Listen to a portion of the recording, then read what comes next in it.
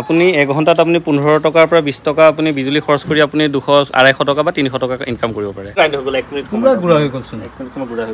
মাত্ৰ এক মিনিটত চাওক আপোনালোকে চাউল একেবাৰে গুড়ি কৰি। যেনেকুৱা ধৰণৰ মেচিন আপোনাক লাগে মই গোটেইখিনি মেচিন দিয়াৰ এবিলিটি ৰাখোঁ। নমস্কাৰ জনাইছোঁ আপোনালোকক নতুন এটা ভিডিঅ'ৰ মাজলৈ স্বাগতম। আজি আকৌ এবাৰ মই তপন ডেকা ডাঙৰীয়া কাষলৈ আহিছোঁ।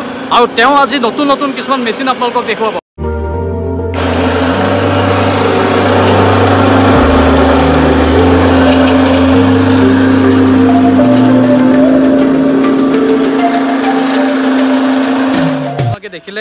এনেধৰণে ইয়াত ধানৰ পৰা চাউল খুন্দে মানে ধান খুন্দি পেলাই চাউল বনায়।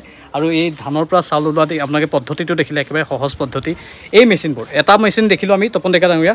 আৰু এটা মেচিন এইটো আছে এইটো ডাবল এইটো আপোনাৰ অকল ছিংগল ৰাইচ মিল বুলি কয় আৰু এইটো ফ'ৰ এইচ পি আৰু তিনি এইচ পি মটৰ থাকে আৰু এইটো কম্বাইন ৰাইচ মিল কম্বাইন মানে কি ইয়াতে ধানো খুন্দিম আৰু এইপিনে আমি মছলা খুন্দিব পাৰিম। পিঠাগুড়ি হালধি জিৰা ধনিয়া আপুনি গোটেইখিনি খুন্দিব পাৰিম। মানে এইটোত অকল ধান হয়। এইটোত আপোনাৰ লগতে কম্বাইন কম্বাইন আপোনাৰ মানে পিঠাগুড়ি মানে গ্ৰাইণ্ডাৰ ছেকশ্যনটো ইয়াতে এটাচ হৈ গ'ল মানে। অঁ। মানে এই মেচিনবোৰৰ এতিয়া দাম যদি কওঁ আমি অকল এইটো ছিংগলটো অকল যিটো ধান খুন্দি পেলাই চাউল ওলোৱা আৰু লগতে এইটো কম্বাইনটো। দুটাৰে দামৰ কি কি পাৰ্থক্য সেইটো আপোনাৰ সাতাইছ হাজাৰ টকা আহে। সাতাইছ হাজাৰ টকাত আমি কেছ অন ডেলিভাৰী কৰি দিওঁ আৰু তাতে গাড়ী ভাড়াটো ইনক্লুডিং থাকে আৰু এইটো থাৰ্টি ছেভেন থাউজেণ্ডত আমি পোন্ধৰশ টকাৰ এক্সট্ৰা আমি এচেচৰিজ দি দিওঁ ইয়াৰ লগত। মানে মেচিনৰ দাম ফ'ৰ এইচ পি মটৰৰ লগত আপোনাৰ thirty five thousand five hundred আৰু পোন্ধৰশ টকাৰ এক্সট্ৰা বস্তু তাৰ লগত মানে থাৰ্টি ছেভেন থাউজেণ্ড হ'ব। এই মটৰ চটৰ চব মটৰ। চটৰ চব লৈ কিনে আপোনাৰ ফ'ৰ এইচ পি মটৰ ইয়াত তলত মটৰ লাগি থাকে। হয় হয়। আৰু এইটো চবচে ভাল আপোনাৰ ঘৰুৱা কাৰেণ্টত চলে। আমি ঘৰত যিটো ডমেষ্টিক ইউজ কৰোঁ টু টুৱেণ্টি ভোল্ট তাতেই চলে এইটো। এই মেচিনটো কিনাৰ পাছত এই ধান খুন্দা লগতে আপুনি আন যি যি কথা ক'লে কম্বাইনটো এতিয়া ইয়াৰ পৰা আমাৰ লাভ কেনেধৰণে হয়? আজিকালি আমাৰ গাঁৱে গাঁৱে গাঁৱে এইটো বহুত বেছি ব্যাপক ৰূপত বাঢ়িছে নেকি? নাই নাই এইটো এতিয়ালৈকে বাধা নাই এইটো এটা নিউ কনচেপ্ট হয়। আৰু এইটো যিটো এইটো ৰাইচ মিল ওলাইছে মডেল এইটো খুব নতুন মডেল হয়। আপুনি এঘণ্টাত আপুনি পোন্ধৰ টকাৰ পৰা বিছ টকা আপুনি বিজুলী খৰচ কৰি আপুনি দুশ আঢ়ৈশ টকা বা তিনিশ টকা ইনকাম কৰিব পাৰে। এঘণ্টা এঘণ্টাত কাৰণ এইটো এঘণ্টাত ছয় মোন ধান খুন্দা খায়। ছয় মোন মানে দুশ চল্লিছৰ পৰা দুশ পঞ্চাছ কেজি ধান খুন্দে। আৰু এক মোনত মানে পঞ্চাছ টকা পাৰ মোন লোৱা যায়। তেতিয়াহ'লে পাঁচ মোনত আপুনি আঢ়ৈশ টকা পালে। আৰু বিছ টকা গ'লে আপোনাৰ দুশ ত্ৰিছ টকা থাকিলে এঘণ্টাত তো এনেকুৱাকৈ দিনটোত যদি আপুনি চাৰি পাঁচ ঘৰ মানুহৰ ধান খুন্দে পোন্ধৰ বিছ মোন তেতিয়াহ'লে আপোনাৰ এটা ভাল ব্যৱসায় হয়। আৰু আমি জনাত আপুনি অসমৰ প্ৰথমগৰাকী এই নহয় মই প্ৰথম ডিলাৰ আছিলোঁ হেভিটেক কোম্পানীৰ আৰু মোৰ তাতে স্পেয়াৰ পাৰ্টছ সদায় এভেইলেবল থাকে। এইবোৰ এইবোৰ মোৰ মানে মেচিন এটা ল'লে মই কোনো প্ৰকাৰে আপোনাক মানে অসুবিধা হ'ব নিদিওঁ। আপোনাৰ ধানৰ জালিৰ পৰা ইত্যাদি কৰি আমাৰ গোটেই গোটেই বস্তু আমাৰ স্পেয়াৰ পাৰ্টছ আপোনাৰ মজুত থাকে। এতিয়া আপুনি যদি বেলেগ অন্য ডিলাৰৰ পৰা মেচিন লৈ আপোনাৰ হয়তো টেকনিচিয়ান নাপাব বা ভাল কৰা এটা যিটো সেইটো সুবিধা নাপাব। আমাৰ তাত সেই যিটো নেকি ৰিপেয়াৰিঙৰ গোটেইখিনি সুবিধা আছে। আৰু এই মেচিনটো যদি মানুহৰ ঘৰে ঘৰে যদি হৈ যায় বহুত মানুহে যদি মানে কয় নহয় কমন যিটো মই আগৰ ভিডিঅ'ত কৈছিলোঁ। কমন হৈ গ'লেও কিবা অসু- অসুবিধা নাই? এইটো পোন প্ৰথমতে মানুহে লৈ যে নিজৰ ধানকেইটা খুন্দিম। কিন্তু যেতিয়া নিজৰ ধানকেইটা খুন্দিবৰ কাৰণে লৈ যায় মেচিনটো তেতিয়া তাৰ বিজনেছে আৰম্ভ হৈ যায়। কাৰণ ওচৰ চুবুৰীয়া মানুহখিনিও চাউলৰ যিটো কোৱালিটি ভাল ওলায় দেখা পাই তেওঁলোকে শুনিব আহি যায়। আৰু বৰ্তমান এতিয়ালৈকে ইমান হোৱা নাই। আৰু মেচিনটো ওলোৱা খুব আপোনাৰ তিনি চাৰি বছৰহে হৈছে এতিয়ালৈকে। তো সেইকাৰণে ইমান এটা মেচিন এতিয়ালৈকে হোৱা নাই মানে। ঠিক আছে। এইটো বাৰু ধান খুন্দা মেচিন আমি গম পালোঁ। লগতে আন আন বহু মেচিন আছে আৰু এইটো এটা গ্ৰাইণ্ডাৰ মেচিন হয়। এইটো একচুৱেলি কোৰিয়ান কোম্পানী হয়। ইয়াতে আপুনি এইটো ড্ৰাই মছলা হয়। আপুনি যদি কিবা মছলাৰ ব্যৱসায় কৰিম বুলি ভাবে কম টকাৰে তেতিয়াহ'লে এইটোত আপুনি যিকোনো বস্তু গুড়া কৰিব পাৰে। এইটো দেখাত সৰু। সৰু কিন্তু এক মিনিটত আপোনাৰ এক কেজি আপোনাৰ জ- জিৰাই হওক ধনিয়া হওক আপোনাৰ গুড়া কৰি দিব। আমি যদি আপুনি চাউলো আমি আপোনাক গ্ৰাইণ্ড কৰি দেখাওঁ অলপমান। অঁ বিজয় ধৰচোন।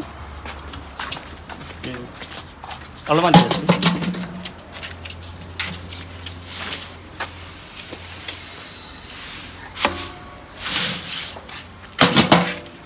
কানেকশ্যনটো কৰিব লাগিব। কানেকশ্যনটো কৰিব লাগিব। এইটো মছলাৰ কাৰণে খুব ভাল মানে মেচিনটো অঁ। আপুনি মানে যিকোনো বস্তু গুড়া কৰিব পাৰে আমি জাষ্ট আপুনি সুবিধাৰ কাৰণে আমি এতিয়া চাউলখিনিকে গুড়া কৰি দেখাইছোঁ আপোনাক। সেই মেচিনটো এই মেচিনটোৰ দাম কিমান? এইটো আপোনাৰ থাৰ্টি টু থাউজেণ্ড আহে। এইটো 32 টু কেজি হপাৰৰ এইটো কেপাচিটি হয়। এইটোৱে চবতকৈ ডাঙৰ মেচিন হয়। মানে সৰু এই ড্ৰাই মানে মছলা গ্ৰাইণ্ডাৰ এইটো এইটো কিমান চলেগৈ মানে কিমান এদিনত কিমান মান চলাব? আপুনি এঘণ্টাত আপুনি ত্ৰিছ কেজি আপুনি জিৰা ধনিয়া খুন্দিব পাৰে। এঘণ্টাত? এঘণ্টাত।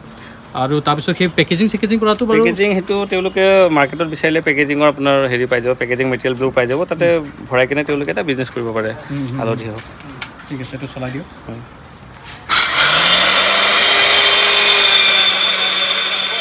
আপোনাৰ মানে আধা কেজি বা এক কেজি আপোনাৰ চাউল যিখিনি আছে গুড়া হৈ যাব।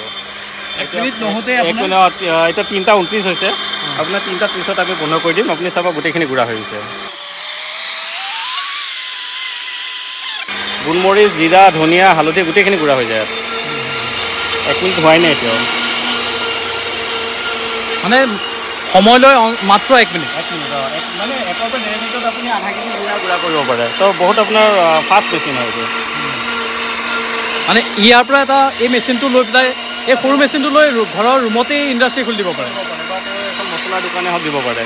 মছলাৰ দোকানো দিব। মছলাৰ দোকানে হওক দিব পাৰে। এক মিনিট হোৱাই নাই আমি কিন্তু বন্ধ কৰি দিওঁ এতিয়া। তিনিটা ঊনত্ৰিছে হৈ আছে বৰ্তমান।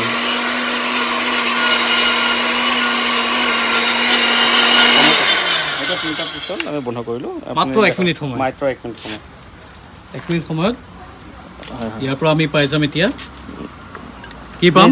তপন ডেকা ডাঙৰীয়া আপুনি যিয়ে গুড়া কৰে মছলা আপুনি। গুড়া হৈ যাব আপোনাৰ। এনেই আমি বৰ্তমান আপোনাক এনে চাউল গুড়া কৰি দেখাই দিছোঁ।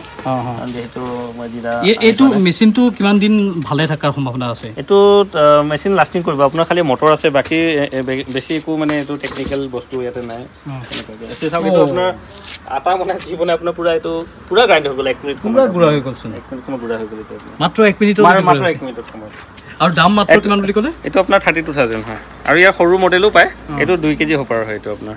সৰু মডেলটো ল'লে কিমান? সৰু মডেল তুলনামূলকভাৱে আপোনাৰ তিনি চাৰি হাজাৰ টকাকৈ কমি কমি আহিব। মানে বিছৰ পৰা ত্ৰিছ হাজাৰ টকাৰ ভিতৰত এই মেচিনটো পাব মানে। বঢ়িয়া। এইটো চাওক আপোনালোকে চাউল একেবাৰে গুড়ি কৰি দিলে দেখা পাইছিলে চাউল। চাউল দিছিলোঁ আপোনাৰ আগতে। অঁ।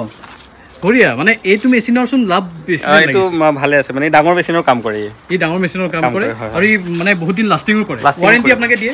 অঁ ৱাৰেণ্টি দিওঁ এইটোত আমি। ৱাৰেণ্টি দিয়ে। আৰু এইটো আপোনাৰ সেই কি কয় আটা মেকাৰে হয়। আপুনি ইয়াতে বেচন আটা চাউলৰ গুড়ি পিঠাগুড়ি এইখিনি গোটেইখিনি কৰিব পাৰে। এইটো এইটো এইটো পালভালাইজাৰ বুলি কয় এইটো।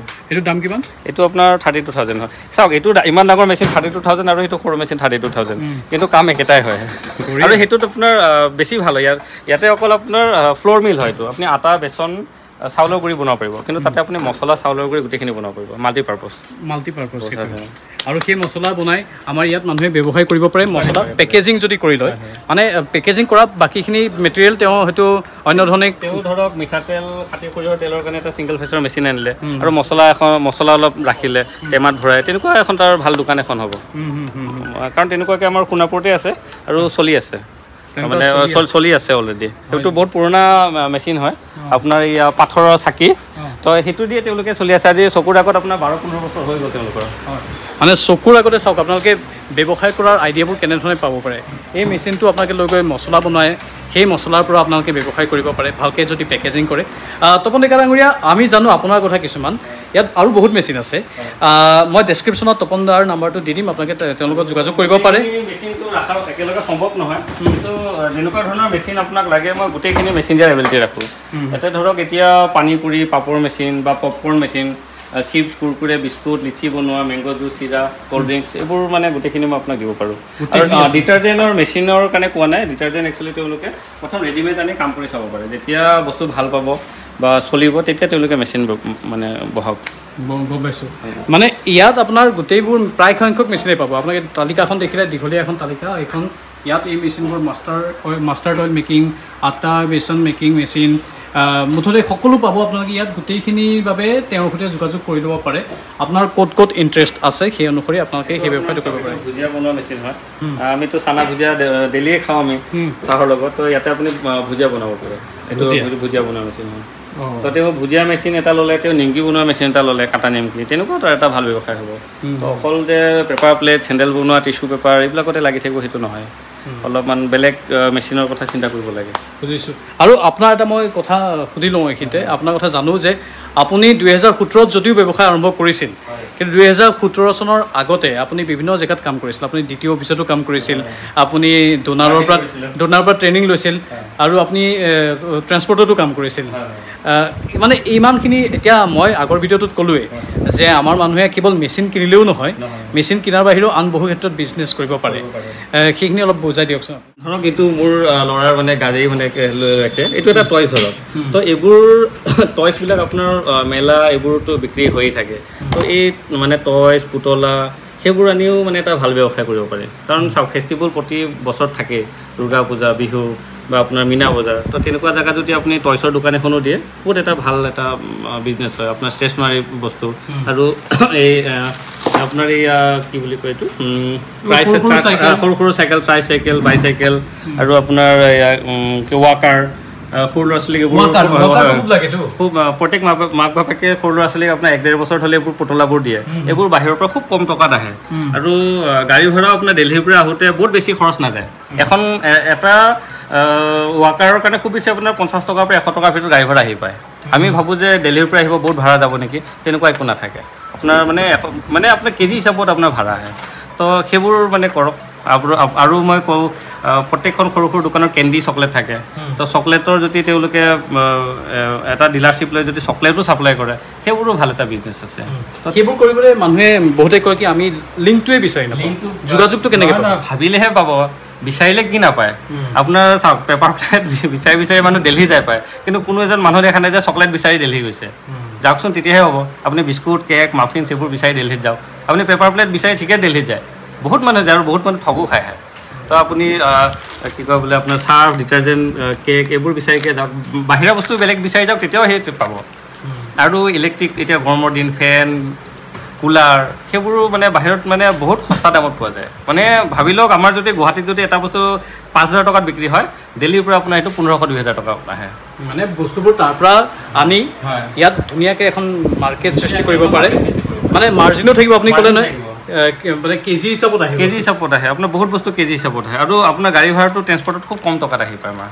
এতিয়া মই জনাত আপুনি এটা মেচিন ইয়াৰ পৰা শিলচৰ দিব লগা হৈছে আজি। সেইটো মাত্ৰ ট্ৰেন্সপৰ্ট কষ্ট অকল এশ টকা ট্ৰেন্সপৰ্টেশ্যনৰ কষ্ট পেপাৰ প্লেটৰ এটা বেগৰ এশ টকা। মানে ত্ৰিছ কেজিৰ বেগটোত আপোনাৰ এশ টকা লয়। মানে কেজি সিহঁতে আঢ়ৈ টকাৰ পৰা তিনি টকা লয়।